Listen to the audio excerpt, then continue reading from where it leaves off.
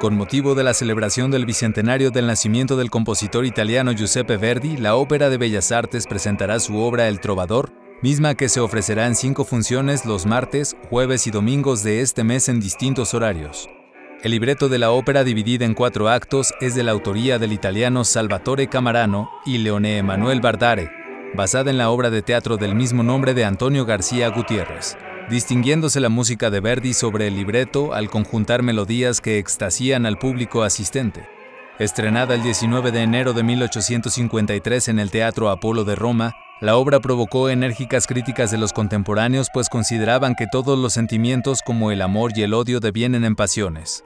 Aunque el público se escandalizó por el profundo realismo, la ópera tuvo mucho éxito al grado que su fama se extendió y llegó a tener 229 producciones por todo el mundo en los siguientes tres años. Con información de Raúl Adorno e imágenes de José Luis Leone. Notimex.